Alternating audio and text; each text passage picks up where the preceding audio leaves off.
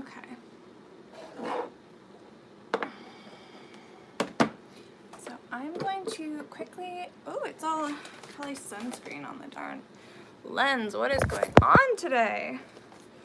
Is it better? I can't even, I should have an alcohol swab somewhere. I feel like it's blurry. Let me grab, I'm,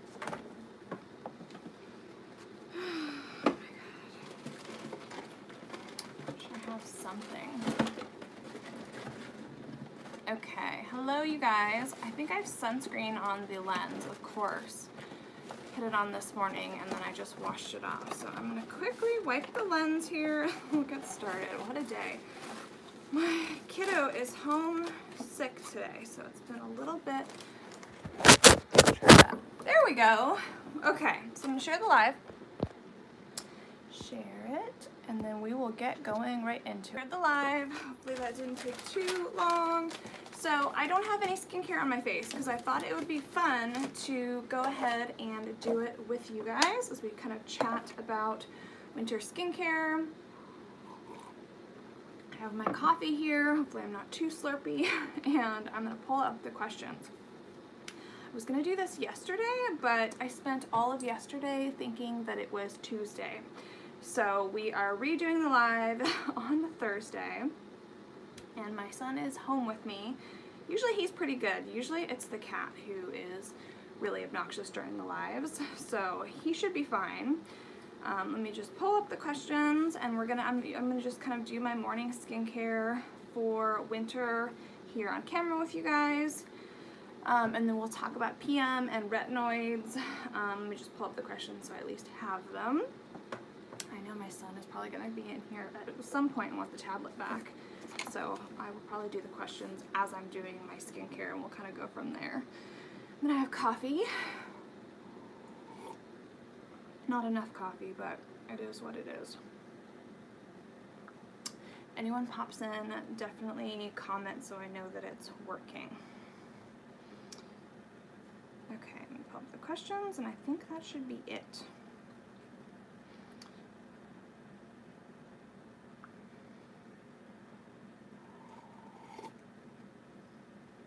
I like the start, of the live is always slow. Some people get, get into it so fast. Maybe I'm just not organized enough. Questions. okay, last thing. I'll pop the. Okay. Got my vitamin C here, so it's all ready, and we'll start doing skincare. I can't pull up the questions right now. I'll have to get to it in a sec. Hey, buddy. Okay. Your tablet. Okay, keep it really low, okay? Alright, well, we'll get to the questions a little bit. Okay, close the door behind you. I'm going to get started, okay? Volume low, please. I don't think anyone else wants to hear whatever he... He likes a lot of, um, like, prank shows. Alright, we're going to get started. Oh, sorry for the slow start. So for anyone who didn't see the post in the Facebook group, um, this is going to be a live that you guys voted on, just chatting about winter skincare and kind of retinoids and dryness um, and all that good stuff. So I'm going to talk about kind of adjusting your routine for winter, and then I'm also going to do my morning skincare here on camera with you guys, since I have nothing on my face other than a little bit of mascara. Um, and then we'll talk, talk PM as well. Hi Joanna, welcome. Okay, good. I think people are starting to maybe get the notification. See, that's why I kind of blather on for a couple minutes at the beginning because I feel like a lot of people don't see it right away. Thank you for joining me. Okay, so really quick, well, let's just get, I'm just gonna start doing skincare because my skin feels dry. I'm gonna get my notes out of the way here. So I have been swapping to, you guys know I like the Dermalor. Hi, I think that's Jelena, the golden, I, I think, yeah, that's what you said. I think I, we confirmed it last time. I have my coffee here. Okay, so for winter, um, I, well, I guess we'll chat before I get right into skincare, because otherwise I don't think it's going to have any context.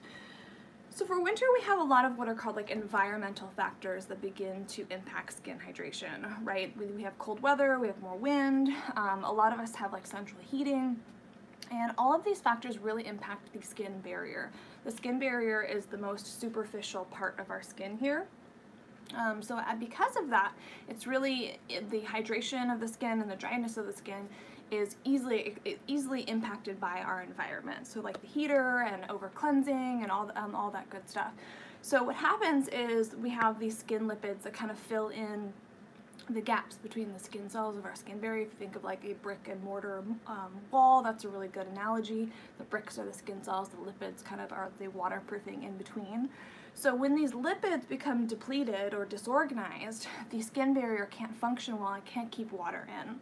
Um, and you know when the skin barrier is function isn't is, isn't optimal, um, it actually can't keep out like irritants and, and pathogens, so it can actually make like acne worse and sensitivity worse, as well as various skin disorders. So skin barrier health is often, I think, not stressed enough and a really important factor in kind of dryness and winter skincare. The other thing too is a lot of times we'll hear like how de dehydration is a skin condition and is totally separate from dryness. Um, while you can have oily skin and be dehydrated, um, due, due to the way that the skin barrier works, if you're dry, you're also dehydrated. Um, this, this is, I don't know why it's kind of kept so separately when we talk about it, but in the medical literature, they are the same. And the reason for that is if you have depleted skin lipids, your, your skin can't retain moisture. So if you're dry, you're dehydrated. Um, you know, oily skin is a little bit different because uh, oil production is due to the, the, oil glands or sebaceous glands, and you can produce a ton of excess um, sebum and still have a skin barrier that isn't functioning well, right? Th those can be separate things. So when we adjust for kind of winter skincare, you know, it's getting colder, maybe you're trying to use retinoids at this time, so you're noticing a lot of dryness.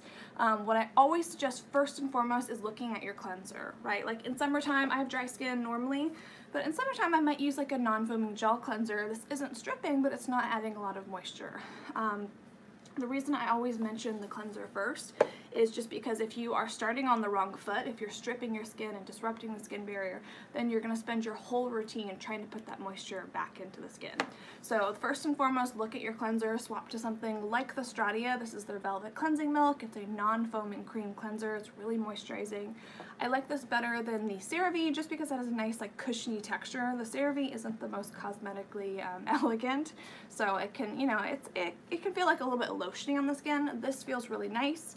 Um, and then it's low pH, and we have a lot of evidence that suggests um, when we can maintain the, the acidity of the skin surface, we're going to have better skin barrier function, where if you're using soaps, um, this can really disrupt not only the skin barrier, but the skin microbiome. So first and foremost is getting the right cleanser in your winter routine, considering a non-foaming cream, cream cleanser like the Stratia. I also like the Sioris uh, Cleanse Me Gently. I actually recently used it up.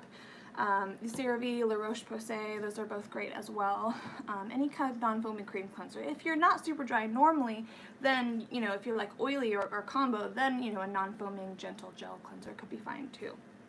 Okay, then when I look at the rest of the, adjusting the rest of the routine, um, often you'll need to swap your moisturizer. That's something that you can kind of do right away that can make a big impact. So if you're using maybe like a lighter moisturizer, like I do like the Vanicream still like in the morning for example, but this is a like gel, you know, gel cream type moisturizer. This is often not going to be rich enough for wintertime. And again, great moisturizer. It has a lot of ceramides in here. Um, it's really hydrating, but it's often not going to be occlusive enough. Hi Daisy, welcome. Welcome to the live.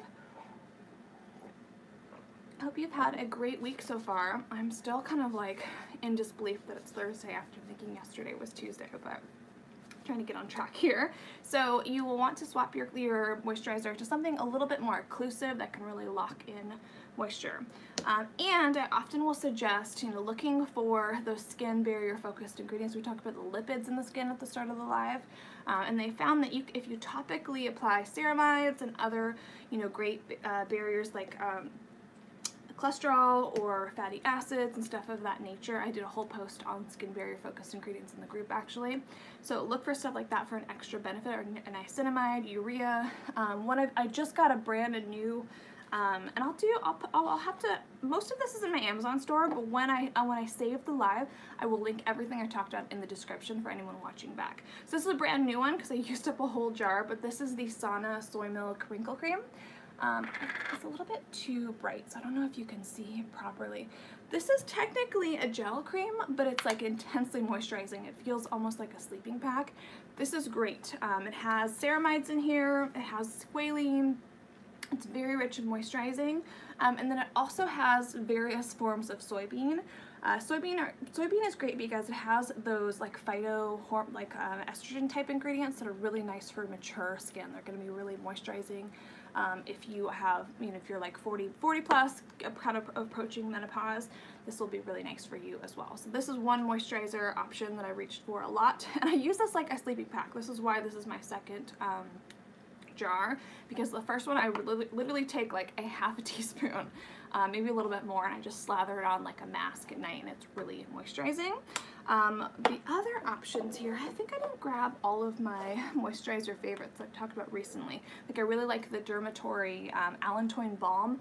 That's really rich, like it's going to be a true balm, so it's going to feel a little bit like a little bit greasy when it goes on, so I would only reach for that if you have very dry skin. Um, and I'll do a little post too, just to have it like an easy digestible format. So that one's really good. Um, you guys know that I often use like the Stratia Liquid Gold. I use this more as a booster type product because if you kind of see it here, it's like more of a lotion texture by itself. Um, it does have that uh, distinctive kind of gold uh, tone to it. These, yes, um, list them please. Oh yeah, yeah, don't worry, don't feel like you guys have to write them down. I will add them in the description of the post and I will do like an Instagram version with just the product pics too. So if you miss something, don't worry, I will make sure that it is added after the live because I know that's, that's really hard to try to remember everything. I don't want you guys to be like trying to rewatch the live and write things down. That's no fun. Okay, so this is like a little slightly lighter product by itself. So you could use this by itself in the morning like under sunscreen, but I like to use this as a booster.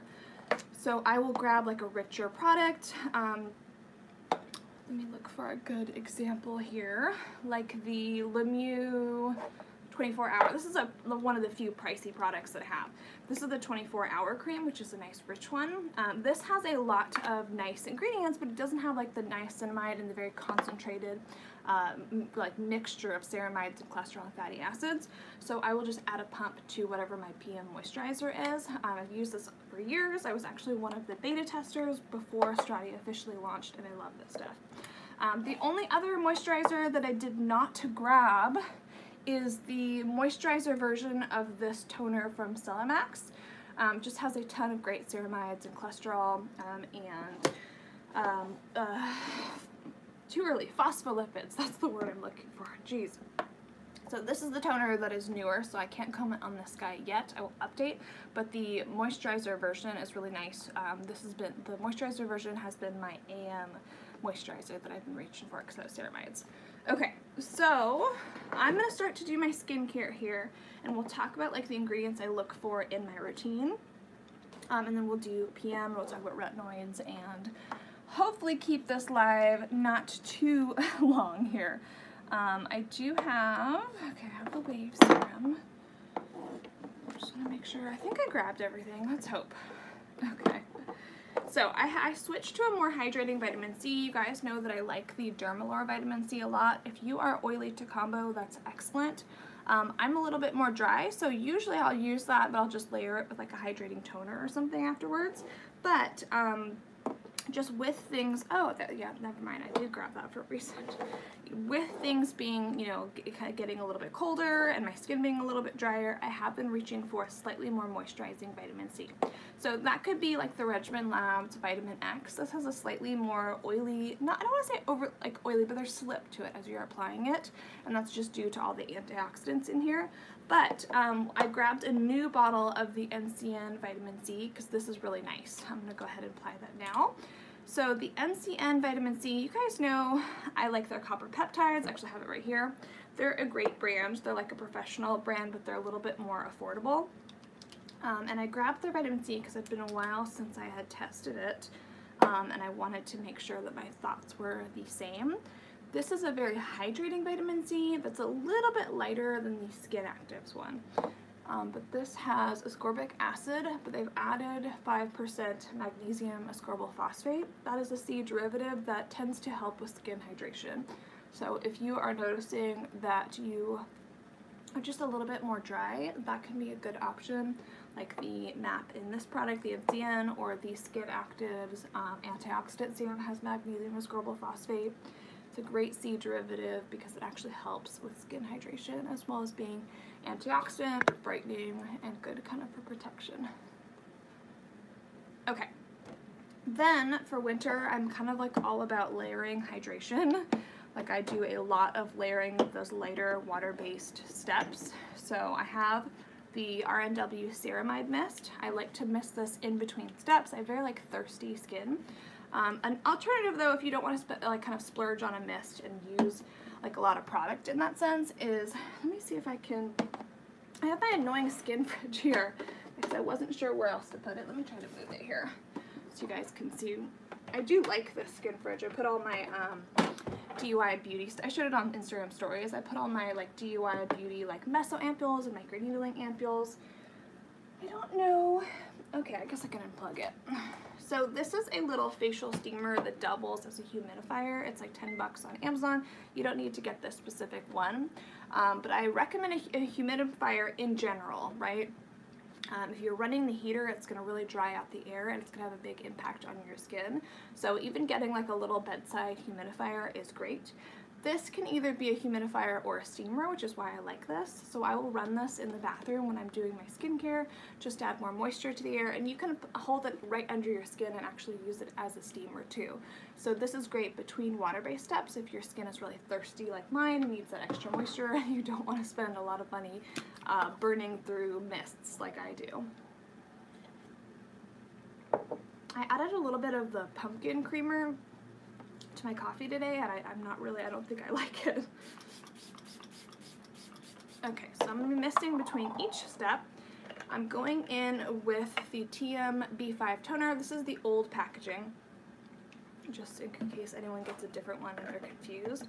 So again, I kind of layer these hydrating steps in my routine and I look for ingredients that are going to help the skin barrier. So panthenol is uh, an anti-inflammatory, it helps with irritation and itching, but it also really helps with wound healing and moisture retention. It's a really great ingredient. Putting things down on my neck, I have a very sensitive neck, so anything soothing like that is a win for me. And then I will kind of layer with other kind of hydrating options. Um, I like the Jumiso hyaluronic acid. That's if you like a really rich like hydrating toner, that's a good one. Um, I'm gonna use that RW. Also like the Anua birch juice toner that I was talking about recently. So I'll list some like toner options that I really like for winter in the description, just because I know I talk about a lot of them. You don't need to layer to the extent that I do, um, but again, I just really like my hydration. I have very thirsty skin. And then I will, um, I'm continuing to test this guy. This is the newer product to my routine. The Celimax Dual, Dual something, Dual Creamy Toner. And then the moisturizer has like the Dual Barrier Cream or something like that. So apply that real quick. And I kind of go off of um, like go off of your skin, right? Like I have, again, I have very thirsty skin, so I can do a lot of layers and it's going to continue to like really suck things up. I kind of go off of, you know, make sure my skin doesn't feel tight anymore and it's not like absorbing everything quite as quickly. Where, you know, if you are not as dehydrated, you'll, you'll kind of notice when products start to kind of just sit on top of your skin instead of absorbing. So you don't need to use a million hydrators like I do, like definitely make sure it's personal to your skin. And then with my serums here, kind of similar deal in the winter. And then some of them, you know, I'll talk about the ones that I like for PM as well. But morning, like I'm going to be putting on sunscreen, I'm going to be putting on makeup. I want to make sure that things aren't like overly heavy and sticky. So I do like to reach for kind of lighter products. I've talked about the Be-Plain Bamboo Hydrating Ampule. I recently ordered a new one because I'm almost out. Ceramides, cholesterol, panthenol, allantoin, great kind of lighter serum, which I enjoy for morning. I'm almost out of the Aflorence Hydration Booster. This one is also a little bit lighter. Um, this one has niacinamide and also has uh, saccharide isomerate, which is an ingredient that helps with moisture kind of over time. Um, today I'm just going to be using the Stratia Rewind And I'm going to be using the Proot Ginseng Radiance Serum. And then we'll go into moisturizer and then we'll kind of go on to the dread stuff because I don't want to take forever doing my skincare. I don't know. I feel like it's kind of boring to watch someone else do your skincare, but maybe you guys can do it along with me. So I'm doing the Stratia Rewind real quick. Again, another old favorite. Has niacinamide. Um, it has N-acetylglucosamine, which is a precursor for hyaluronic acid. Really helps with skin hydration. Um, and it helps the skin kind of better shed dead skin cells. There's more panthenol in here. I, I personally can't get enough panthenol. I feel like it's one of those um, kind of underhyped ingredients. Like we hear about it a lot, but we don't hear about a lot of the benefits of panthenol. As you can see, I literally mess between each step because my skin just soaks everything up. Then I'm using the Proot Ginseng Serum. This has um, ginseng extract, so it's a little bit more concentrated than the Beauty of Joseon that I've been using for a while. And it has actually some growth factors in here, as well as some other nice hydrating ingredients. Okay, so now that my skin is nice and hydrated, I will either grab a lighter moisturizer for morning or I will use a facial oil that has added active ingredients. So today I'm going to be using the MooGoo Vitamin C. This has the um, TH, no, no, it has ATIP, so it has an oil sol soluble vitamin C. I'm adding a drop of this. Um, ATIP helps with penetration of ascorbic acid. If you're like, why is she using so many different forms of vitamin C? Okay, and then I'm also adding a pump of the Imagine Dermatology Moisture Milk to that oil. The oil just kind of helps with the richness a little bit because this is a lighter, more, more hydrating lotion. The reason I like that Imagine Dermatology, and I've talked about this whole the whole HA line for them for a while, they're really inexpensive on Amazon. They're like 10, anywhere from 8 to like 14 bucks. They're really inexpensive. But they have a bunch of ingredients that mimic the skin. We kind of talked about the skin lipid, lipids earlier. So there's squalene, there's shea, shea butter, but then they use a bunch of humectants that uh, mimic the, the humectants naturally found in our skin. So there's hyaluronic acid, there's glycerin, there's urea, um, there's amino acids, there's sodium PCA. So that's the moisture milk. Alright, so now that my skin looks very shiny, I'm to let this sit down and when I get off of the live, that's when I'll apply my sunscreen. I do like to kind of give a sec to soak in. I think I added a little bit more of the oil than I normally would. So if you don't want to look this shiny to start, skip the oil step. I know my skin though, and it will, I know it'll sink in. My puppy like scratches my chin a lot, so as I'm applying these products, I can feel the stinging. He learned from my cat to like get my attention with his paw. Okay, so just kind of working that in. Okay, so instead of actually applying the products, we'll talk about PM. So to kind of recap morning, right? Um, you want to keep it a little bit lighter, right? Because a lot of us are wearing sunscreen and um, some of us wear makeup, for example. So, you know, if you don't have time to let it soak in, like I would even skip the facial oil entirely. But, you know, we're kind of like reaching for, we want to protect our skin with vitamin C, and I used a couple other antioxidants like the Stratia Rewind um, and the, T the ATIP in the MooGoo Squalene. So these will help protect the skin. Um, and then the kind of the other kind of hydrating steps I reached for weren't overly heavy, even though I have dry skin. So like the Vita B toner, you can see it's pretty watery. Um, the RNW, of course, is a mist. Oh, uh, Jelena, I used the Moisture Milk and the uh, Squalene. That was my moisturizer step to recap here.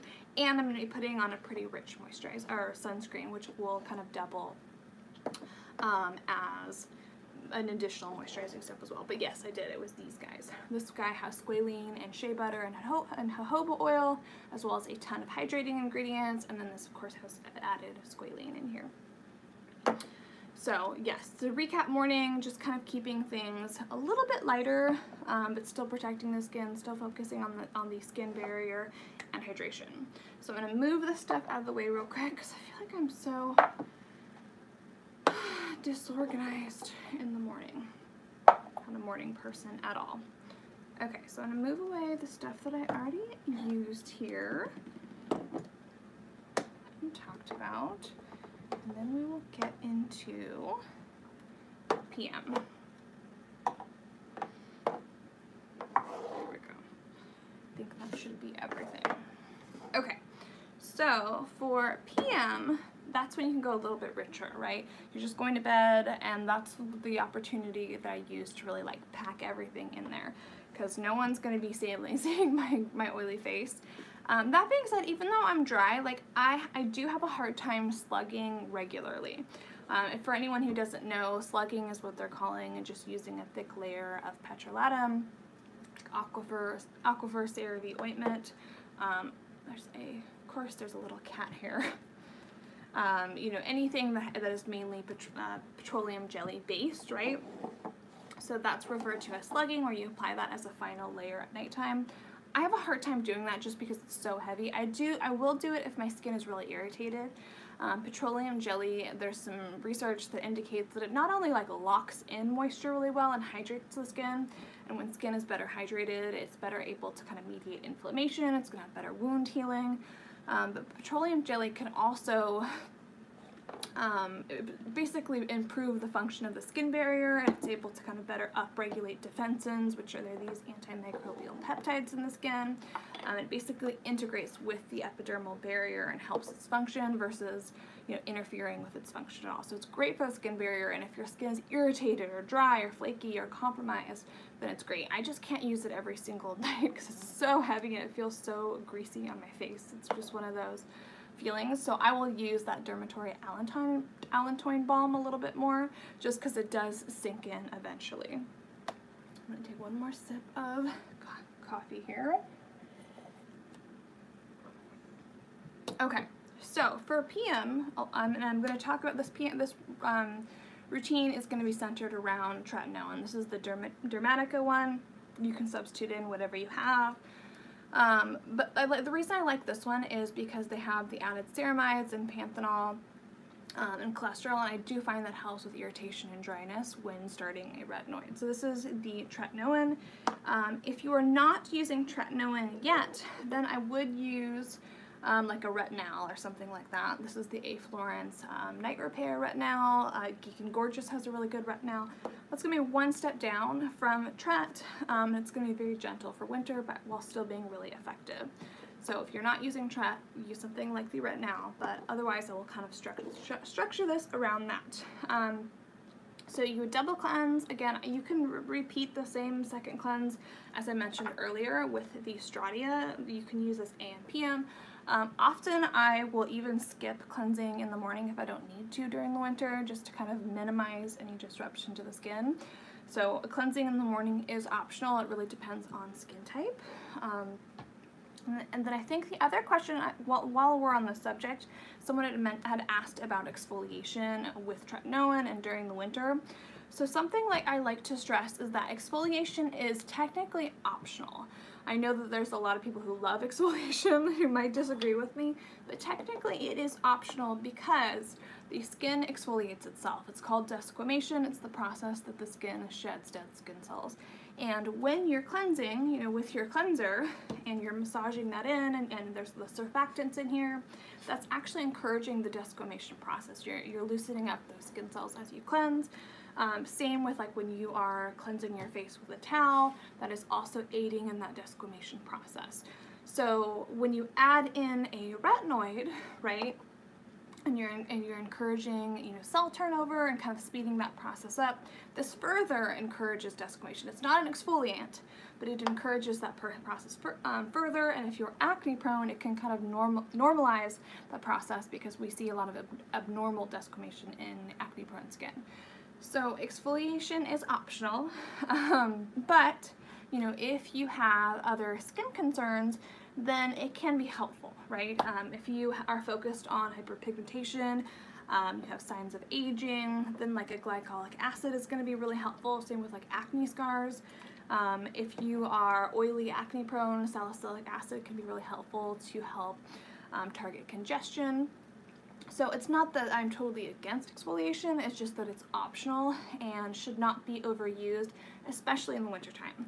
You know, what happens is that exfoliants do disrupt the skin barrier, and if it's already disrupted due to cold weather and dryness, um, if you're starting tretinoin, you know, hi Nicole, welcome. Thanks for stopping in. Nicole is my wonderful mod. So is Joanna, who said hi earlier. So if you are in the Facebook group, you have seen them around, and they are the absolute best. I could not do it without them. So tretinoin, when your skin is acclimating to it, we do see some barrier disruption, right? So if you are new to tretinoin, you should not be exfoliating at all. Um, if you are very well acclimated to tret and you're seeing a lot of like flakiness that you want to exfoliate, then you can. Just do it very carefully um, and don't overdo it. Um, a lot of times what I see happen is that because with irritation with a retinoid takes some time to show up, is that someone will exfoliate, apply their retinoid, and then the next day things are fine. So they're like, oh, okay, cool. So they exfoliate again the next day, and then the next day, you know, or they use like another irritating ingredient like kojic acid. And then like day four to seven, that's when the irritation hits you like a truck, and you're like, oh crap, what did I do? And it starts, and then you have like days worth of irritation stacking up. So you want to make changes really slow when you have a any retinoid, but a particularly tretinoin in your routine. Make those changes really, really slow and really minimize exfoliation. What I like to do, if, if you have a lot of flakiness, um, I like to use like a, a konjac sponge or like a washcloth in the morning just with your gentle cleanser. A great way to remove, um, you know, dead skin and kind of flakiness that you're seeing while not over exfoliating. You can't really overdo a konjac sponge. Um, if you want to exfoliate with a stronger exfoliant like glycolic acid, I actually recommend a stronger exfoliant less often. So a 10%, um, this is 10% glycolic, 2% lactic. It's the Geek and Gorgeous, um, not the A game because that's the Retinol. Soft touch, soft touch, no, that's Stratia. Smooth out, there we go. Too many products in my head. So it's 2% lactic acid, 10% glycolic acid. You can, okay, there's my one dropped product. There's one every live. Hopefully that, if hopefully it's just the one today. It, I was I was waiting for it. I, th I thought we, we got far enough into the live where I wasn't going to drop a product today, but it happened. Okay. So, a stronger glycolic acid less often. The research indicates that it's going to be equally effective and you're not getting that constant irritation of using it every day. So that's my personal recommendation of trying to exfoliate with tretinoin is one, only do so if you have something that you're specifically trying to target. Don't exfoliate just to exfoliate. Like if you don't have congestion or if you don't have additional signs of aging you're trying to target, if you don't have flakiness, if you're fine, then don't you don't need to exfoliate, right? Um, so it's optional. If you really want to, uh, it's better to do it less often and maybe pick up a slightly stronger strength than trying to exfoliate daily and balance tret. Um, and same goes for like you could do a 20% every two weeks or so. Um, but you know, you will get similar results, um, you know, that way. Okay, so I think that was all the questions on exfoliation. I just want to make sure I answer that. We'll kind of keep rolling on PM. So PM, again, I go a little bit richer, right? Like even with my hydrating toner, so I'll double cleanse. Um, you know, I will use like the, the thicker, more hydrating toners. This is the Jumiso Waterfall Hyaluronic Acid. It's a little bit like more syrupy, if you can kind of see, and there's a lot of humectants in here. Another one that I've used for a really long time that you guys know that I absolutely love is the Sidmon. You can tell it's well loved. It's been in, this is, for some reason I left this in, like by my sink for like three days. Probably because I use it so often and now it's got like my kid's fingerprints on it. Uh, he, oh, speaking of which, look what I finally found. this valve was missing for two weeks. I wanted to talk about during it during the Black Friday sales because there's like 30% off. And my son had stolen it and I could not find it. I turned the house upside down looking for it. Um, I knew that he had it because he always tries to grab this guy. See, it's touch activated. It's just like a little product penetration device. I turned the house upside down looking for it so I could mention it during the sale. The day after the sale, or I think like the night of, it, it like it, he hands it to me and goes, here you go, Mom. And I was like, he's like, I found it for you. I was like, you did not find this. You had it hidden. Anyway, um, my son likes to get into certain products. So this is the Cica Youth Toner from Tusol. This has 10% panthenol, it has PDRN, um, it has peptides, it, it's like a milky, has a milky consistency to it. This is super, I don't know if I could show it on the screen properly. I should have done it on the back of my hand. At least my, my hands are getting a lot of um, product today. Maybe we'll try the back of my hand. I think it's too watery to show properly but it's like a, it has a milky texture to it. Um, I have been using this for, gosh, almost a year now, I think. It's very soothing, and that's because it has that 10% panthenol and the PDRN, which is wound healing. Uh, great product if you are prone to irritation, if your skin is compromised. Love this product. Um, so I just lightly reach for the kind of thicker products. Um, same goes like for serums. I have really been liking the Regimen Labs wave serum, any kind of any kind of uh, serum or moisturizer or toner that mimics the humectants found in our skin, I'm a fan usually. This is the wave serum from Regimen Labs. Great. Um, I already mentioned I love their vitamin C for morning. Um, the RNW Ceramide Plus, this one's slightly newer because I fell in love with the mist here. You can see I am almost finished with this bottle. I already have a backup love the mist. So I've been testing the serum to replace the Oceuticals um, Rehydrate Serum. This, compared to the mist, is a little bit more moisturizing and hydrating. You can see it's like almost a gel serum texture. Similar ingredient deck, just a little bit more hydrating and moisturizing. So I love the Oceuticals Rehydrate Serum, a very similar ingredient deck, lots of ceramides and cholesterol and kind of barrier-focused ingredients. Um, so I use that up and um, I've been using this as a replacement. Great. Would the Youth Toner be a good replacement for the This Is High Moist? Um, I'm almost out and trying to find something new. I'm assuming you mean the High Moist because I prefer that one to the uh, another toner from them. That's pretty good, but the High Moist is a little bit better. Um, they're a little bit different, right? The Cezanne High Moist Skin Conditioner, one, you get like this giant 500 ml bottle um, but two, you know, it, and it has a bunch of ceramides and cholesterol. It has some amino acids in there. It has the drops tears. Um, you know, but it's a little bit lighter. Uh, it's like slightly thicker than water. This is going to be a little bit thicker. It's not overly heavy though. It's still a pretty light product. Um, yeah, I would say I would say even though they're different textures. okay, I had a feeling that was you, Kelly, when you asked about the Cezanne. Uh, welcome. Thanks for hanging out with me. So they're different textures, but I would say they're similar in hydration level, if that makes sense. Um, just because the Cezanne has all those ceramides and it's slightly thicker than water, um, you can really layer it on. This is a thicker texture, but it's not insanely hydrating compared to like the Jumiso or something. Um, and it has the panthenol and the PDRN and the peptides. I would probably try either the Cica Youth Toner um, or the Vita B5 from TIAM. This is really good too. This has a similar, if you like the texture of the Cezanne, we're like slightly thicker than water, um, you'll like this one and it's really hydrating, really soothing, and has a little bit of slip to it. I tend to find that I like thinner toners that have a lot of hydration, a little bit of slip to them, if that makes sense. Okay, so yes, the Cica Youth Toner or the TIAM B5 toner I would try. Um, okay, so we talked about the ceramide serum as well, um, and the wave serum from Regimen. The last serum that I will mention is the Naturekind PDRN. Um, this PDRN is one of those ingredients where like I wish there was a little bit more research. It's really popular in, in K-beauty right now. So if you are nano or cosmetic needling, this is great com in combination with that.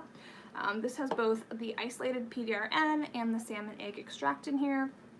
So two different forms of the salmon. It also has bisabolol, which is a derivative of chamomile and very wound healing. Um, great for the skin barrier. And then this also has niacinamide. I want to say it's probably like a, at about 3%, 2 to 3% in here, which is still very effective. So this pairs nicely if you're using a retinoid in your routine since it has that niacinamide. The research indicates that um, when if you are using tretinoin, if you pair it with a niacinamide product in your PM routine, it greatly helps with irritation and dryness. So this is the last serum I will mention. It's a nice one. It's, it's a K-Beauty product. Great for doubling like post cosmetic needling, etc. I think my my moisture. Look how red this is the puppy, you guys. Jeez, pretty red right here. So that's the last serum that I will mention, but it's a nice one as well. Well, I mean, I will actually mention, I will mention other serums. That's like the last like hydrating type serum. There we go.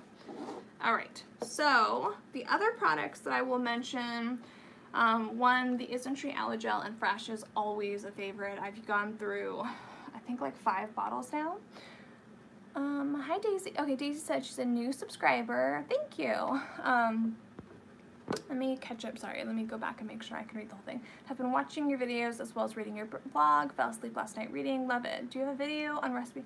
Oh, thank you, Daisy, that's awesome. Yeah, and I do have more blog post content coming, by the way.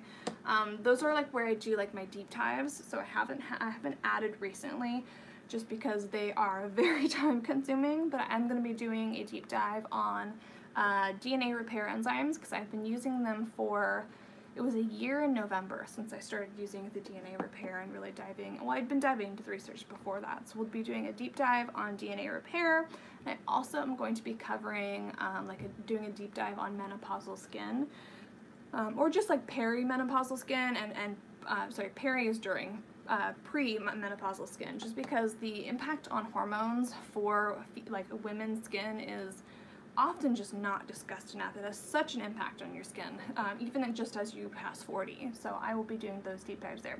Okay, I think you asked about the DIY conductivity. Um, I only, I think I only have it on Instagram right now. Um, it's, it's really easy. Did I think I put it away? I actually had it out earlier, but I think I put it away because it wasn't on topic with this um, live. Okay, so I do have a post on Instagram if you are on there where it, it's the microcurrent sheet mask um, post. It's really easy. Um, all you need to do is you just need tap water um, and you can either just use like a, a salt, like sodium chloride. I tend to pick up like the pink Himalayan salt since it has some added minerals. You could use like the Dead Sea minerals. Um, you could also combine with other strong electrolytes like the magnesium flakes on Amazon. You can keep it simple though, like don't be afraid to keep it simple. Um, it's You just want about a 1% concentration. So the ratio should be on Instagram, it's, it's about, it's like a small pinch per half a cup. It doesn't have to be super, super precise. Just make sure that you're using warm tap water, half a cup. Um, warm water um, it contributes to the conductivity a little bit more. It's, it's, if you have more temp, the, the um, electrolytes will better dissociate. Uh, looking forward to the perimenopausal skincare discussion. I'm 48 and my skin is going through many changes. And thank you. Oops, I didn't read fast. I love your. Thank you. Uh, she said she loved my content. Yes, I think it'll be really helpful. I've done a little bit of content on it so far, um, but it's just such an interesting subject, and I don't understand why it's not discussed enough, to be honest, because I feel like so often it just yeah it's just not really discussed at all and then you have all these changes that are occurring as you get into your, your, your mid 40s that's also often a time where less sun damage starts to become visible. Not that it wasn't already there but it starts to become visibly present um, and the, there's all these changes and you're like what do I like there's not a lot of um, information on like what actually to do you know um, when, when we see that drop in estrogen, estrogen in the skin, like it has an impact on everything from like collagen formation in the deeper skin. You're gonna have less hyaluronic acid in the top layer of the skin, so your, skin is gonna be more dehydrated, it's gonna be less plump. Um, and even it plays a role in lipid formation, so your skin's gonna be more dry. Um, it's really interesting stuff. And I know that the American Academy of Dermatology in one of their conferences um, they were talking about how you really want to intervene um, early enough. You know, basically, you really want to start like a collagen indu induction um, like therapy of some kind, like whether whether it's microneedling or radiofrequency. You want to start it like when you're in pre-menopause when, when those dermal fibroblasts are going to be responsive still. Um, so that's why I think it's really important to talk about so that, I mean, it's not that it's ever too late, right? I don't want anyone to be like, well, shoot, like I'm past menopause, I should just give up. Not at all, but if you can, um, you, the fibroblasts will be much more responsive if you're able to intervene early. Um, said it's not commercial enough, that's why it's not discussed more. Yeah, that's crazy to me just because um, so many of you guys in my group are, I have another cat here, or maybe it's a Peppy here, he's asleep right there. Um, so many of you in my Facebook group are like 40 plus, like a, a big group of you are like in that much more mature end of the spectrum.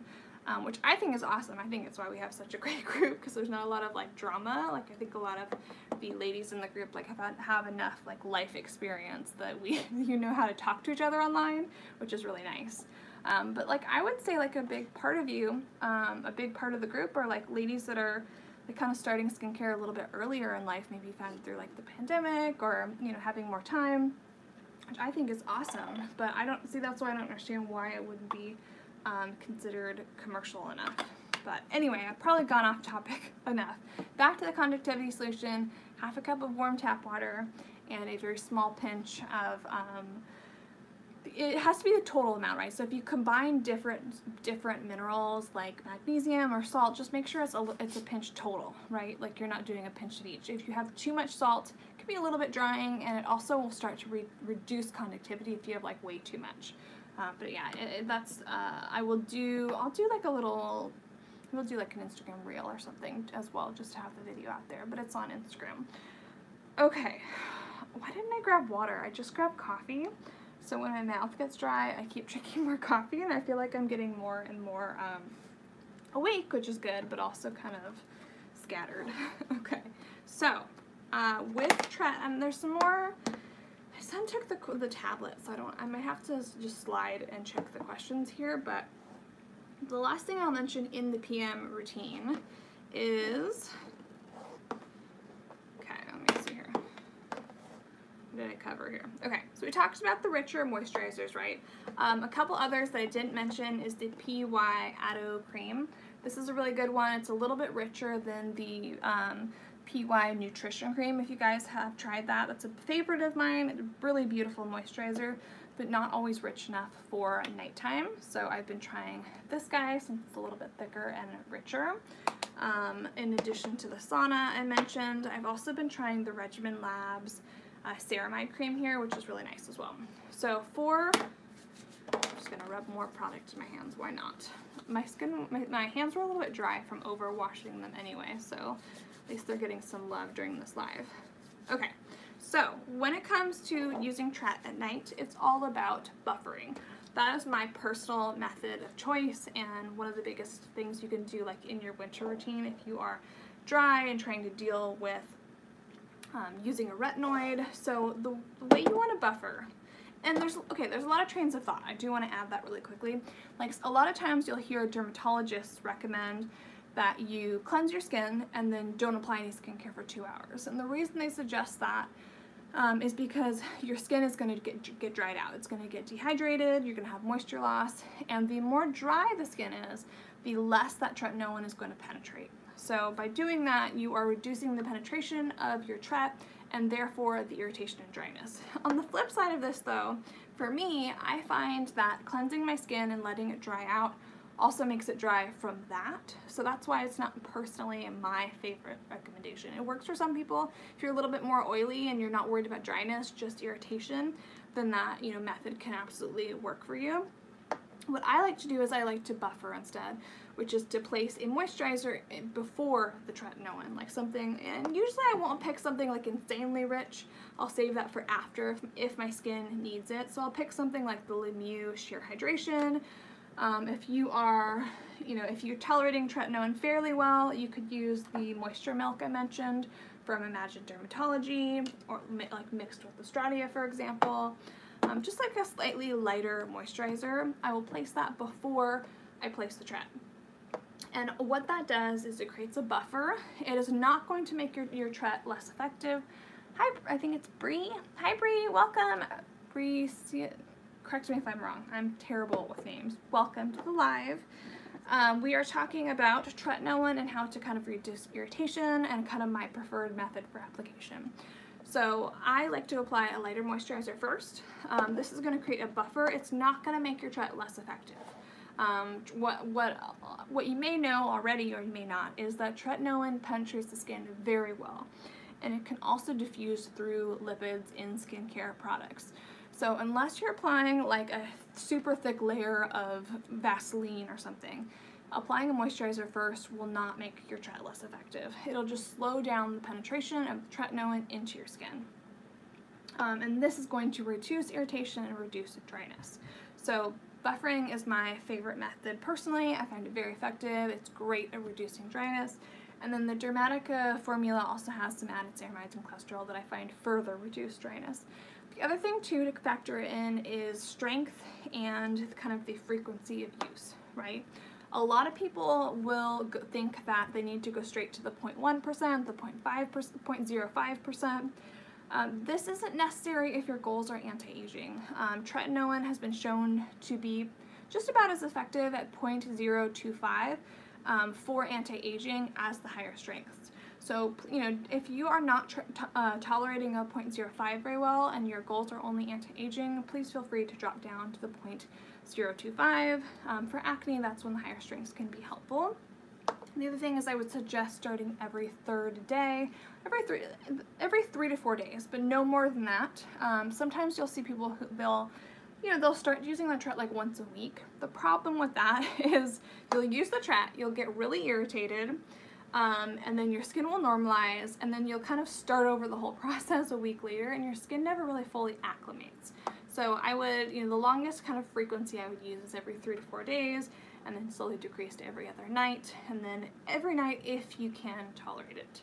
Um, that's the big one as well. The other thing, I think it was a question in the group, and I will I'll skip over to them and check them if I don't forget, if I don't remember everything, um, is like how to apply your tret. Oh, Daisy said, I'm looking for it. Oh, awesome. Okay, cool. Yeah, I, I, I know that a lot of you guys are in that kind of general range, which I think is just why I want to do the content. Obviously, it doesn't apply to my skin, but I know that it, it will apply to for a lot of you guys. Um, and again, I think it's really critical in how you kind of adjust your, your routine and your treatments and stuff. And there's some, there is some, you know, some research stuff like topical estrogen therapy, um, but also non, you know, non-hormonal options as well. Why didn't I grab water? See, and I keep wanting to reach for my coffee, but I'm gonna refrain. Okay, um, back to back to track. Okay, application and then we'll I will answer Jelena's question. So with um, the with the tret, make sure that you're not applying too much. You know, I I have okay. I, I say this stuff not to be judgmental, but just because I know myself too, and I do the same stuff. A lot of times we think that um, more is more, right? It's really easy to kind of pump your your tret out and you, you know you get the pea-sized amount that you're supposed to have and then you add some more and some more because you figure like more must be better not with Tret. It is very potent medication. Stick to the pea-sized amount. The Dermatica pumps out exactly a pea-sized, so it ends out perfectly. I'm not going to actually apply it to my face because it's daytime and also, you know, obviously uh, Tret is not very um, stable when, it, when it's exposed to light and air, but I'll kind of demonstrate. So I like to take the pea size amount and I take a little finger and I will dab this in little in little parts over my face. So I'll pretend my hand like is my face here. So I grab a little bit at a time and I just kind of distribute it a little bit at a time over my whole face like this, really spreading it out. I avoid um, areas that like where the, the tret can kind of collect. So I'll avoid the nasolabial folds, the corners of the nose, the corners of the eyes, areas that are more sensitive and where the tret can kind of collect there and cause more irritation. Um, I'm just gonna rub this into my hands again. And the other thing, uh, I think I think this is a question too um, from the thread. I need to check the thread. My son just took off with the tablet. Um, Tret does migrate, right? It, so even if you don't apply it um, like right, you know, even if you, we avoid these areas, we're just making sure that, that you don't get an excess amount of Tret kind of collecting there. You're still, it's still gonna migrate and spread and get in those areas just through movement, the temp of the skin, um, you know, again, tret is very potent, so it's not that you're not treating these areas, we're just trying to make sure that it doesn't collect there. Um, the other, and same with like the, the eye area, right? Like tret, you don't want to apply this right on your lid, right underneath your lash line. Um, you just want to take a little bit and follow the brow bone, just kind of pat along the brow bone on, on top here and kind of follow the eye socket. Uh, the orbit is the name for the little bones that kind of frame the eye. Just tap along here and the, the warmth of your skin and the movement will carry the product where it needs to go. Um, okay, let me get caught up here. Um, if using azelaic acid, 20% cream, um, and the milky lotion. How would you apply it in terms of buffering the Tret? Okay, so I would apply the milky lotion first um, and then I would do, I'm assuming this is like a richer, like the Melazepam, for example, which is like a richer azelaic acid cream. So I would apply that next, and then I would do the Tret. Just because um, azelaic acid is, is, a, is an exfoliating, it's a mild exfoliant, it kind of works more superficially, and it doesn't penetrate quite as well compared to like Tret or something.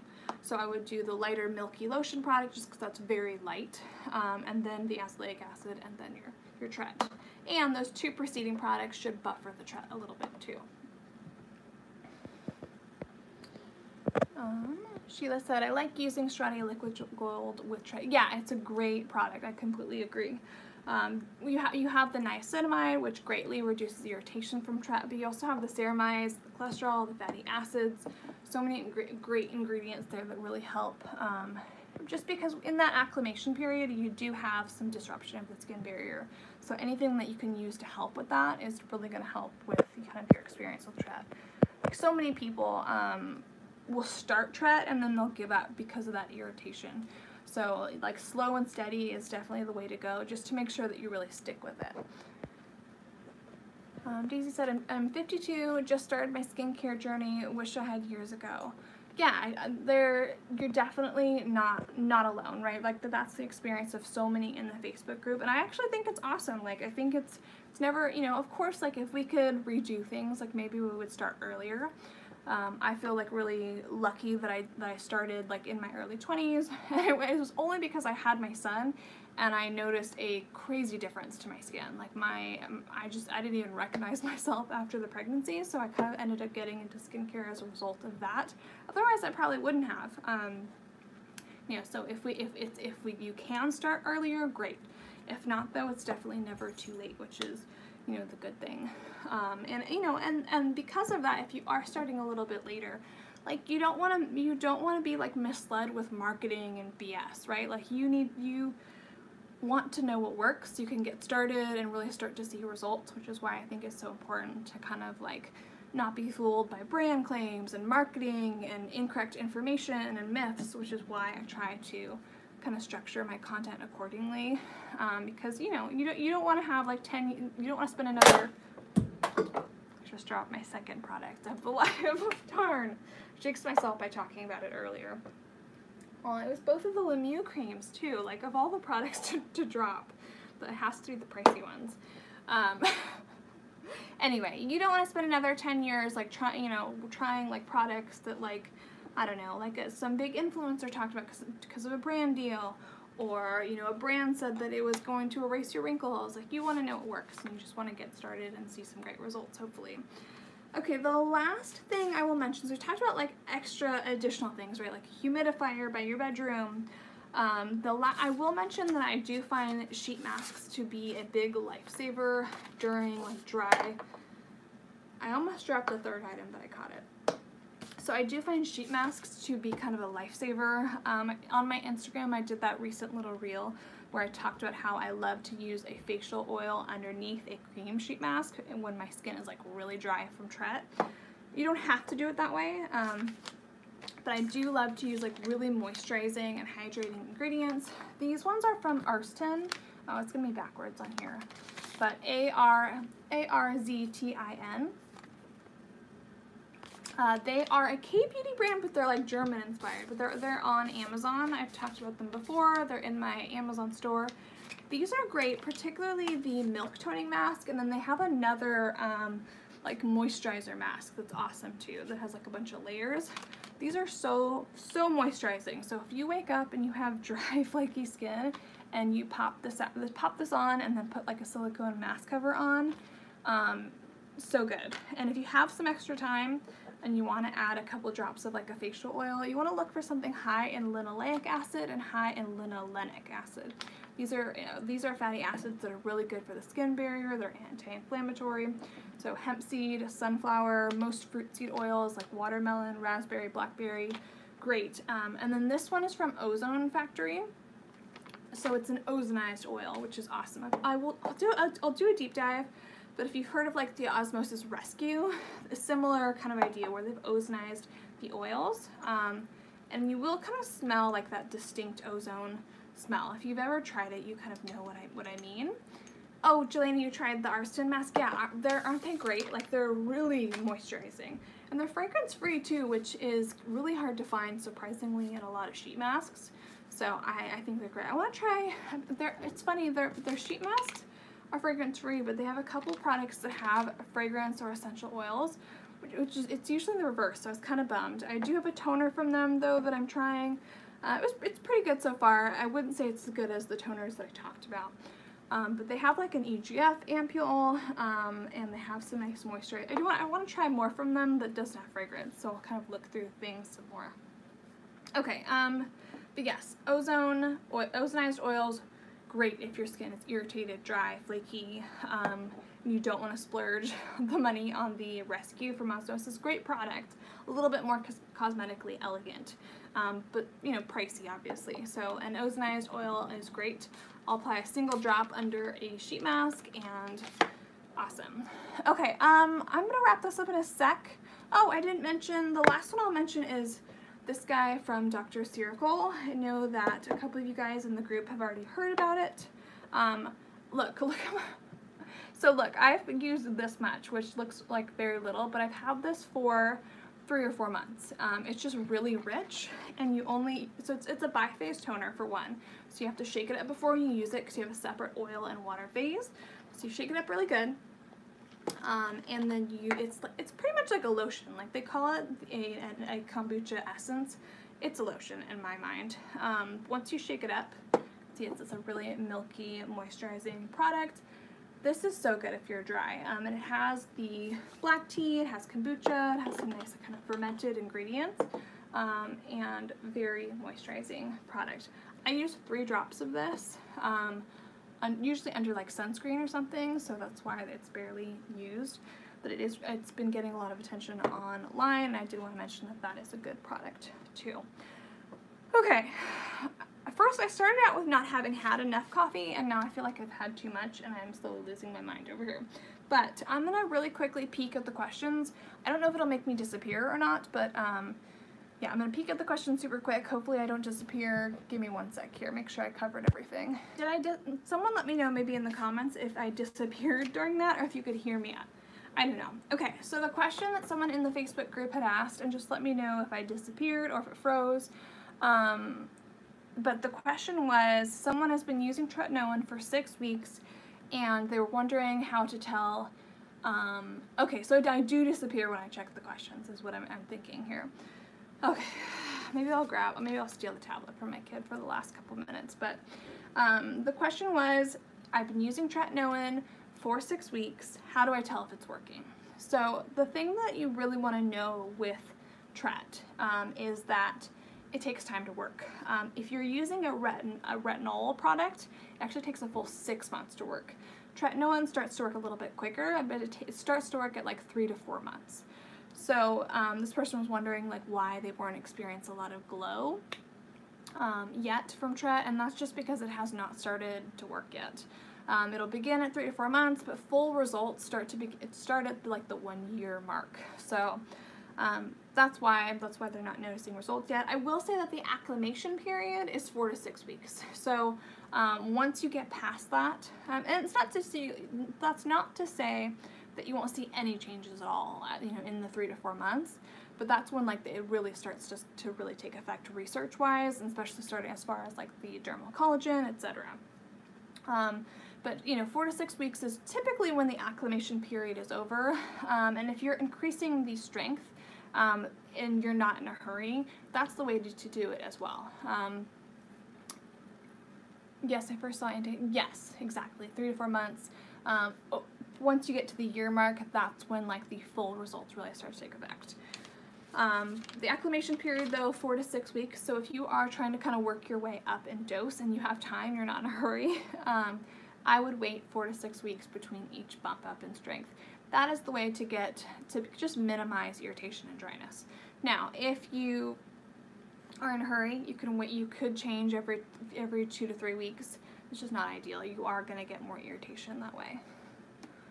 Um, let me catch up here. Okay, so it does freeze. I wish it didn't, because uh, I'm debating whether I should just get grab the tablet for my kid real quick so we can wrap this up in a reasonable time frame. Have you tried the gel cream by, I have not tried the Dr. Ceuracle gel cream yet just because I suspect it's a little bit light for my skin type. What I will say is that um, Dr. Ceuracle used to be named Lee Ji Ham and it was LGH before that. They're, they're a K-beauty brand that I've used for years. Um, and I have yet to try a product from them that I did not like. So I, I, my first like holy grail product ever when I first started out in skincare was their um, tea, not green tea, the tea tree essence. This has it had a tea tree extract and it was so hydrating. Sadly, they reformulated it. That's like the devastation of K-beauty, right? Like you will fall in love with a product. Like you know you're into K-beauty when you've had products that you've fallen in love with and they've been discontinued or reformulated. Like that's the unfortunate downside of K-beauty. Um, and it's just, I think it's just part of like the, the downside of like that innovation aspect, right? They're constantly releasing great new products and new, you know, new trendy ingredients and it's really fun and exciting. But the flip side is, is that you can fall in love with something and it will be discontinued or reformulated. So their, their uh, tea tree essence was like my first holy grail product ever. Um, their propolis uh, ampule is excellent. Usually I can't use propolis, it actually causes my skin to be congested um, you know, and kind of break out. That product doesn't, and, you, and I get that nice glow that a lot of people enjoy from uh, propolis type products. Um, so I don't think you can go wrong with um, Dr. Ceuracle. They're a great brand. I just haven't tried that one because I think it's probably a little light for my skin type.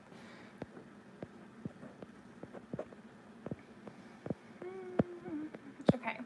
Oh, hi Claudia. Welcome. Thanks for joining us. That's okay. It was um, this is just one of those, I, I was telling everyone at the start of the live that I normally do a Wednesday live, or I've been trying to do a Wednesday live every week, and yesterday I spent the whole day thinking it was Tuesday. So we're already, um, I don't know what we're doing with this live, but it's been, it's been fun, even though I've had a little bit too much caffeine, I think. Okay, so Okay, you know what? I'm gonna I'm gonna grab the tablet and I'm gonna bust out the questions because otherwise I'm gonna be going back and forth. There's only a few of them. I think there's only five. Um, yeah. Otherwise we're gonna be going back and forth. Well, oh, okay. I'm gonna drink. I'm gonna I'm gonna drink another sip of coffee because my mouth is dry. Because otherwise I won't be able to answer them. Okay, give me two seconds, you guys. I will answer the last five questions and then we will wrap this up.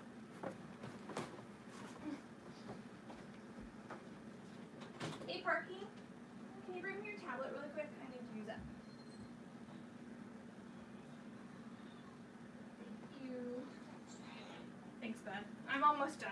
I'm just going to answer these last couple of questions. Um, do you want to sit with me? Yeah. Okay.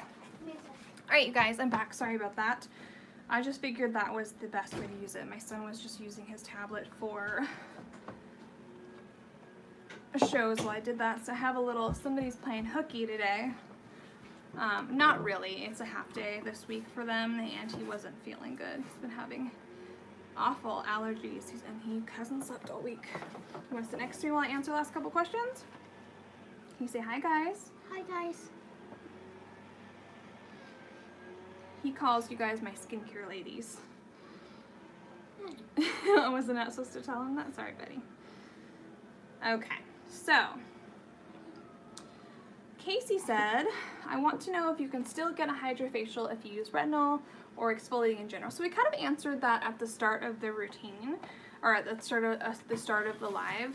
Um, you just want to be very careful when you're. of course, someone's using the. It's a leaf blower outside. We'll just jam through them and we'll end up. So you can exfoliate. Someone said, "Hi, cute boy." Hi. He says, "Hi." um, you can exfoliate, as we mentioned at the very start of the live there's all kinds of distractions. We, I think we made, at least we made it through most of the live without a ton of di uh, distractions. So yes, you can, just very carefully. Um, retinol is much better tolerated versus Tret.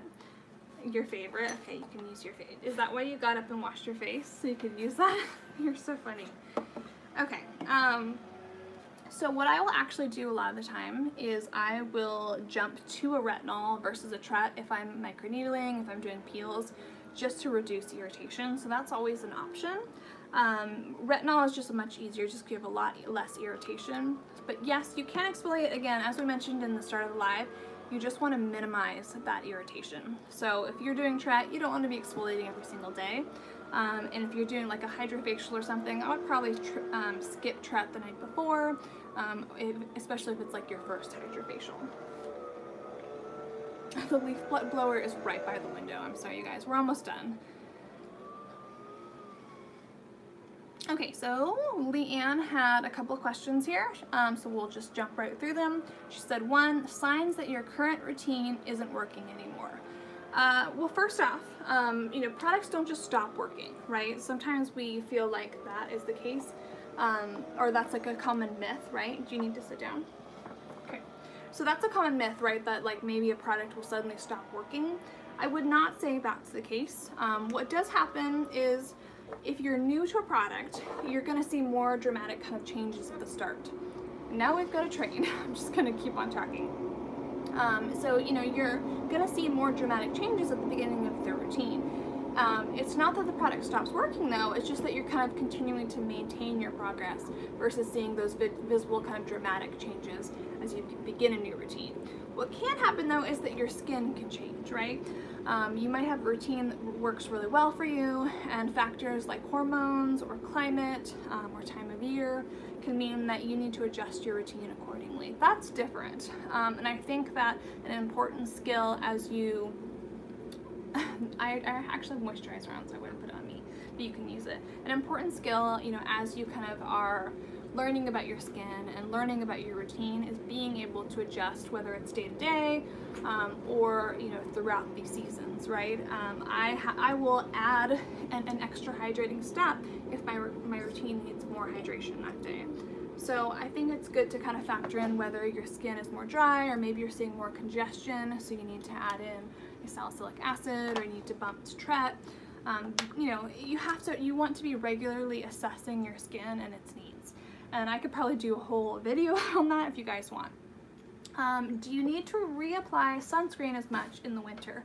Yes. Um, the reason for that is um, UVA is actually the primary concern. So we have UVA rays, we have UVB rays, and 9 out of 10 of the rays that we come in contact with or, and that are reaching the surface of the planet are UVA. And these can are these UVA rays are present during like cloudy overcast weather, um, they, if you're standing directly in front of a window that is not UV tinted, you're still exposed. So it is important to um, reapply uh, during the, the same frequency if you're outside. You know, of course, the exception to this would be like if you're not in daylight as much due to winter, right? So if it's getting dark, then of course you don't, you know, if there's no sunlight, then you don't need to reapply. Or if you are inside more and you don't have a ton of windows, then you don't need to reapply as much. Um, should we not exfoliate as much in winter? I would say yes, again, because over exfoliation disrupts the skin barrier. Um, it's going to worsen dryness and, and, irritation. So I would exfoliate less or just be more gentle in your exfoliation, you know, using a washcloth or a konjac sponge with your cleanser like we talked about. Um, is blowing snow slash hail a natural exfoliation method? Haha, I'm half joking. Uh, Yes, that's your answer. Well, I should let you answer. Some of these, one of these days, I'll let you answer all the questions, and we'll see what he says. Um, as we mentioned, the, the environment is a big factor in dry skin. Okay, you can sit with me, but make sure it's quiet. Like It's quiet, okay, with good behavior. So, um, envi those environmental factors are going to contribute to dryness and dehydration, but not so much um, exfoliation. Okay, so a couple more questions. We're almost at better. Sit quietly, please. Okay. So Heather said a few things. Can you use acid peels when first starting tret? How much time to wait between? Um, okay, so for that first part of the question, I would not do a peel when you are first getting acclimated to tret. Just because tretinoin already can make a peel seem much stronger, right? Um, if you if you haven't if you've been doing peels and then you've added tret to your routine, a peel that you've done a dozen times before, um, okay, goober. I gotta wrap this up. A peel that you've done a bunch of times before can suddenly be way stronger because you've added tret. So I would make sure that you your, your skin is acclimated to that tret first. and you're gonna wanna start too by skipping the tretinoin several days, like stop your tret several days out. Um, Benny, I know you're a little goober, but let me finish, okay? Um, start the, stop the tretinoin three to four days out the first time, and then you can kind of decrease that frequency um, as you go. Um, but you know, really, you will never regret being conservative with a peel ever, but you will regret going too strong and you know getting a chemical burn, etc. The chemical, yeah, that was the right word. Um, okay. Can applying tretinoin for only an hour or two at a time mitigate some of the dryness of peeling? Now, are there actives or treatments you should absolutely avoid while using tret? Um, so that would be called contact therapy, right? We can we use a similar principle for like benzoyl peroxide. As I mentioned, my personal favorite method um, for application is buffering, but if that is still, you know, if you're still way too dry and irritated, you can try the contact therapy. The thing is that, um, like benzoyl peroxide can work in a short amount of time because it's mainly antibacterial. So it can get to work quickly even if you leave it on for 10 minutes. Where, you know, tret, you know, you do, you do get more benefit as it's kind of staying on the skin for longer since it's penetrating deep into the skin. So I prefer buffering, but if that's still, if you're still super dry, you can try the contact therapy method first. Um, and then as far as actives or treatments to avoid, when your skin is acclimating to tret, you want to avoid anything irritating or exfoliating. Um, skip the benzoyl peroxide, skip the um, chemical exfoliants, but not right here, please. Um, you know, any skip the kojic acid or you know the hydroquinone. Just let your skin acclimate, and then you can slowly add those things back in. Um, just because if you've ever if you've ever over exfoliated or, or really like just irritated the crap out of your skin from Tret, you'll know what I mean. It's a miserable process, and then you have to stop everything, let your skin recover, and start over, and it's just a pain in the butt. You can avoid that, you want to do that. I think I missed one. Um, okay, so Zeev said the kombucha essence is amazing. Um, got it a week ago per your recommendation thing. Oh, good, yay! I'm so glad to hear that. Thank. I, I love comments. I love hearing like feedback, and, and it's good too because if I absolutely love something and someone doesn't have a good experience, I want to know too, of course, but it's awesome to hear that you're liking it. It's really moisturizing. Um, a lot of times, like milky toners, I feel are in that like weird in between where like um, either it's not like it'll just be kind of a pain to use because it's not it's like not quite moisturizing enough but then it's still thick enough where it doesn't layer nicely so I, I think that's a good like the perfect balance um, okay, hi Ink, welcome. Um, she said, I've been using adapalene for two months now and I still can't use conductive gel as it's burning my skin right now. Um, in general, how long does it take back to go back from normal? So usually by the two month mark, your skin should be fairly acclimated. Um, which conductive gel? I mean, so it's tricky with retinoids, right? Because usually if a, if a, if a non-irritated product is stinging, that's because your skin barrier is compromised, right? It's not due to that product. Like if you're just applying a regular moisturizer that has nothing exfoliating or no retinoids or anything and it stings, it's the skin barrier, not the product. Um, but if it's only that product, two months out, I would maybe kind of mix around and see if any conductive gel. Um, I would look at how you're using it. You know, make sure that you're buffering, make sure that you're using a really gentle cleanser, that you're using a rich enough moisturizer.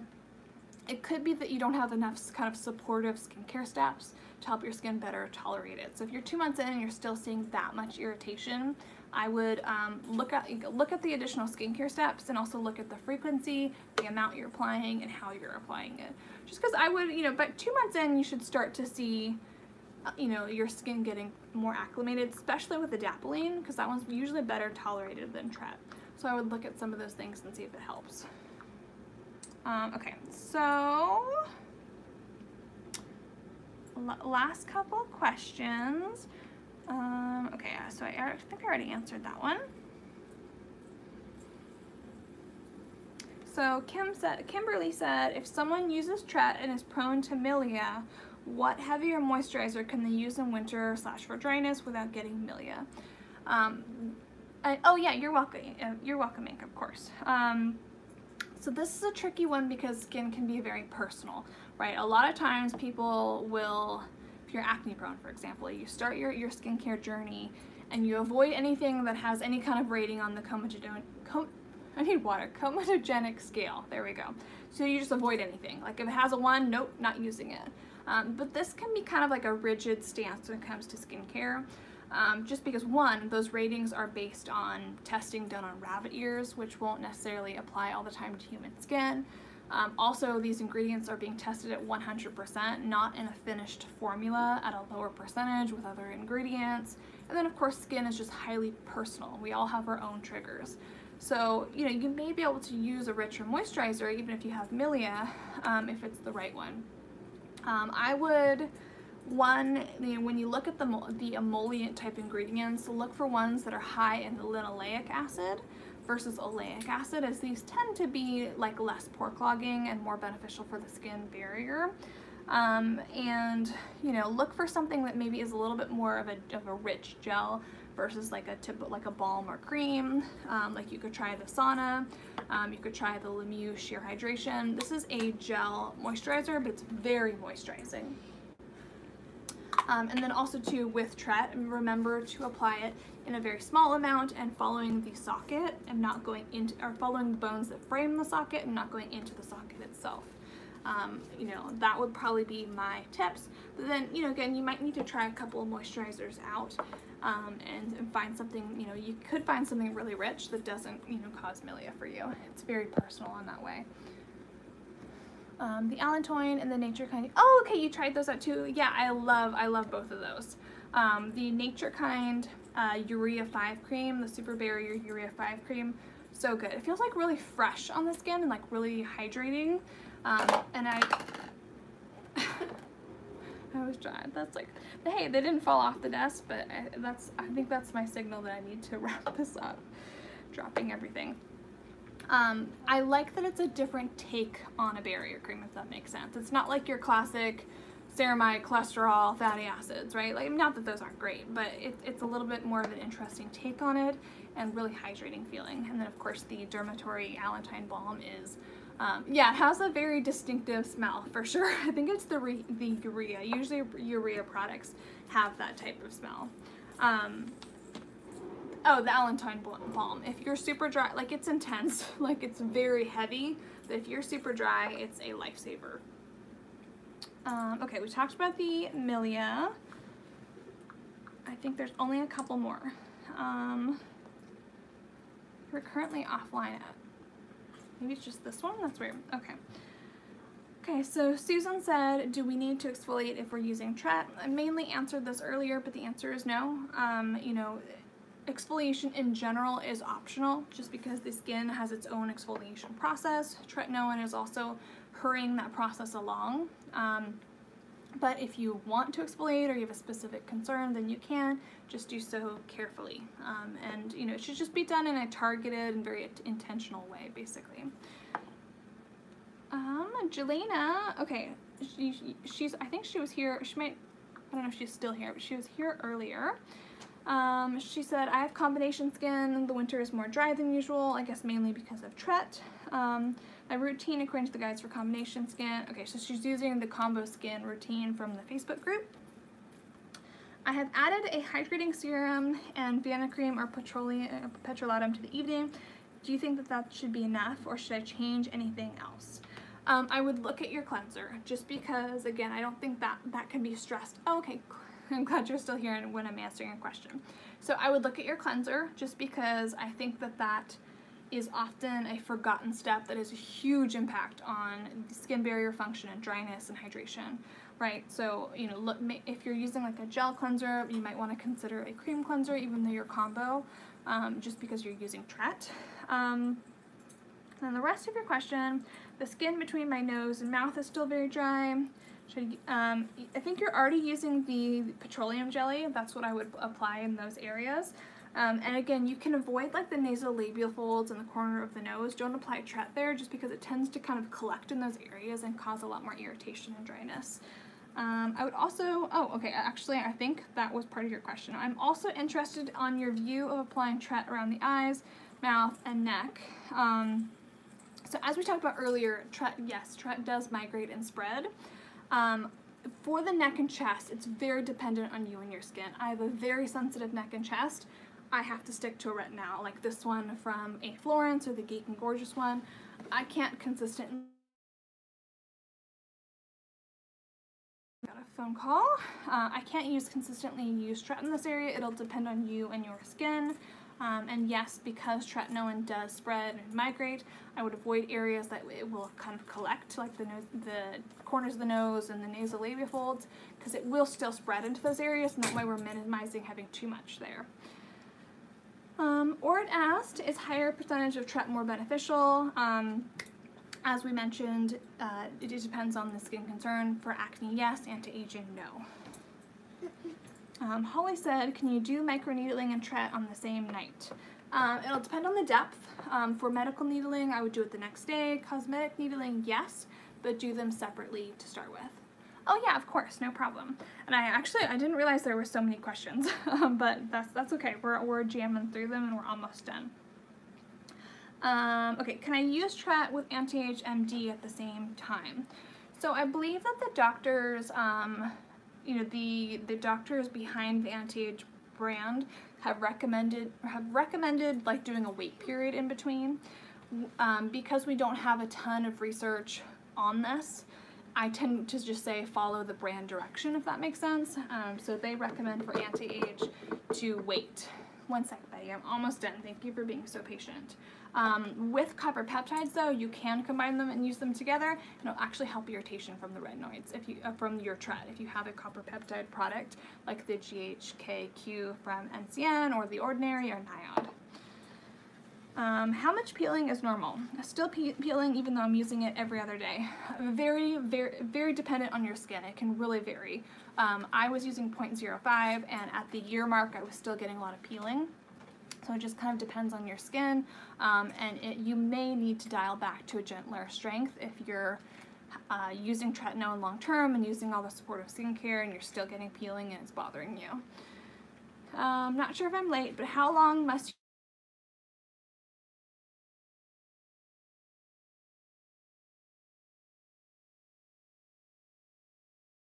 Uh, for tretinoin, I would start um, a minimum, I would wait three to four days, um, and then you can slowly decrease that time.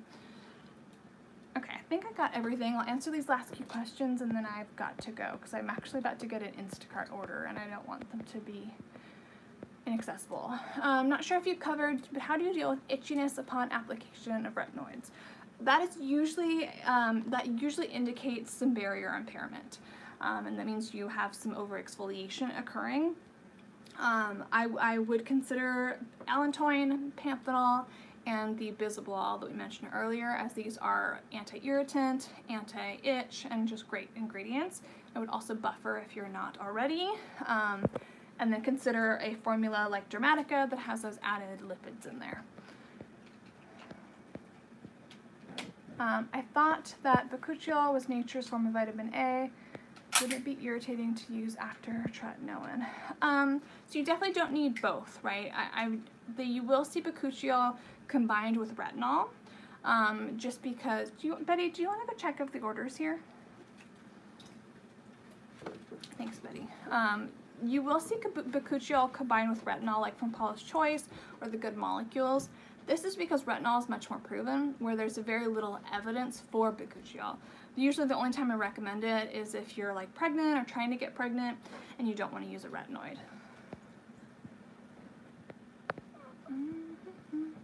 Okay, last one. Is there a downside of using high percentage tretinoin for anti-aging if well tolerated? No. Um, you know, the tretinoin is highly studied, very researched. It's a very large body of research. Um, you know, the concern is like if your skin is always irritated and dry and flaky, um, this indicates that your barrier is going to be impaired, um, and this can impact how your skin is able to protect itself. Um, I have a whole post on the blog about the skin barrier and all the inbuilt protections and stuff. Um, the skin, you know, the skin barrier has an antioxidant, um, has antioxidant protection, photoprotection, protects against pathogens. Like there's all these in these all these protective mechanisms of the skin barrier essentially. And it was dry and irritated, um, you know, you might not, your skin barrier might not be protecting itself optimally. So that's why, um, not yet, thanks buddy. That's why if, you know, you are six months to a year out and your skin is really dry and irritated, you, you may want to consider coming down. But if you have no side effects, then you know that's completely fine to stay on the higher strength. Okay, I feel like my energy was really frantic in this live. I feel like it's been that way lately anyway, but hopefully I answered all the questions. Hopefully um, it was helpful. what I will do is, again, I will put all the products mentioned in the description and I'll try to organize it in a way that makes sense, okay? So I'll do like AM, PM, um, and I'll, you know, uh, products used with Tret. I'll, I'll, I'll, organize it as soon as I have a sec in a way that makes sense. Um, and I'll link my store um, and then I will do a Instagram version just with the visuals because I think oh, that's helpful. We all learn differently and some of you guys um, like to do the live, some of you guys like the more edited videos, some of you just want the like the visual on Instagram with just the products. So I will do that version as well just to make it really simple. So I'm going to put on some sunscreen and do my hair and then we are going to, well, you've got to do homework actually, mister and then we'll do something fun. Okay, you guys, thanks so much for hanging out with me. I appreciate you guys. I know it's going to kind of be a little bit crazy with these schedule changes. It's part of having a kiddo at home and all that good stuff. Um, you're, you're so knowledgeable. Thank you for. Oh, sure. Yeah. No, I. Uh, I think that knowledge should be shared, and I, I all this stuff is in my head anyway, and I might as well share it with you guys and put it to good use. Um, and I just really appreciate you guys and just gives me a lot of like joy um, in my life to get to share something that I love and I'm passionate about and hearing that it's helpful to you guys is always awesome and just really rewarding. So I appreciate you guys so much. I'm going to go ahead and end this and get on with my day. I think his patience level has run out, which understandably. do you want to say bye? Ollie, do you want to say bye? Come here, puppers. Come here. Come here. You're, you are so patient. He slept the whole time. You slept the whole time. Say hi. Hi, buddy. Bye. um, I think I missed one. We're now we're knocking stuff over. Okay. All right, you guys. Um, bye, Jelena. Bye, you guys. Oh, you grabbed the cat too. yeah, the cat does not like to be picked up. This is my life, you guys. Pure chaos. Cats, puppies, and kids. And rats. And your rats. Bye, you guys. Have a wonderful rest of your week.